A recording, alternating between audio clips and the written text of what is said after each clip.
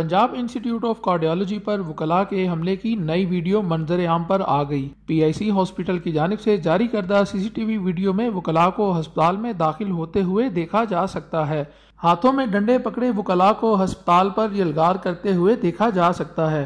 وکلا شیشوں سمیت دوسری اشیاء کو توڑنے میں مصروف ہیں۔ ہسپتال کے اندر داخل ہونے کے بعد وکلا وارڈ میں داخل ہو کر حملہ کرنے کی بھی کوشش کرتے رہے اور جو بھی ان کے راستے میں آیا، ڈنڈوں سے اس کی خوب پٹائی کی۔ ہسپتال کا عملہ وکلا کے جتھوں کو دیکھ کر اپنی جان بچانے کے لیے بھاگ اٹھا۔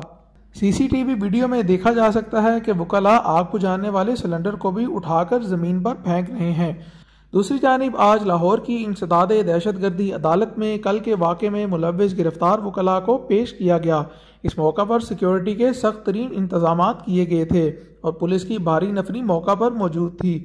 وکلا کی عدالت پیشی کے موقع پر کچھ وکلا کی جانب سے عدالت تک جانے کی کوشش بھی کی گئی، مگر پولیس کی جانب سے اس کو ناکام بنا دیا گیا۔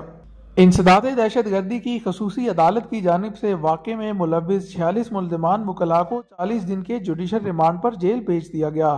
علی رضا آفتاب نیوز لاہور۔